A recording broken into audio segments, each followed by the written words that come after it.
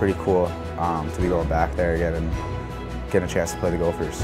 I'm definitely aware. I know they beat them in the national championship in overtime uh, in Minnesota.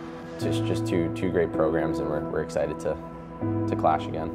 When I made the decision to come out here to go to school in Boston, I didn't really think I was going to get the opportunity to play back in Minnesota. So a couple years ago, we got to play in the Mariucci Classic over Christmas time. So that was pretty sweet. And then to find out that we were going to get the opportunity to go back for two more games um, in a series against the Gophers, like there's nothing better. Definitely really excited for those guys to get home. I think they're all excited. I think they um, they have a bunch of family coming and everything, so that'll be that'll be awesome. My dad bought 110 tickets to each game for friends and family, so I'm not sure if I even know 110 people in the state, but um, it'll be good to, to see everybody. And then a little icing on the cake. It's birthday weekend, and haven't been home for my birthday in about seven years, so